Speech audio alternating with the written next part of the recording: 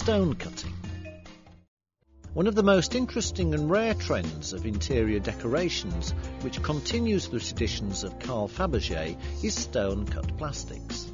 The Russkiye Samotsvety collection of figures from ornamental stones is rich not only in thematic trends, but also in the application of the various techniques used in stone cutting art. Among them are Florentine mosaic and stone carving. The stone carvers are skillful in selecting natural stones of proper hues and quality, and, with a high accuracy, create small masterpieces according to the designer's models.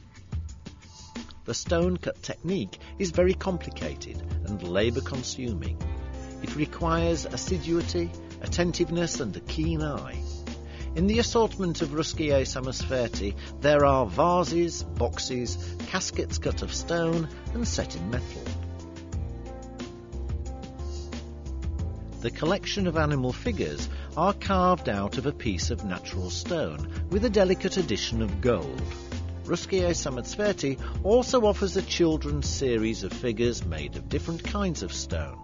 The best designers and sculptors of St. Petersburg take part in the creation of these models.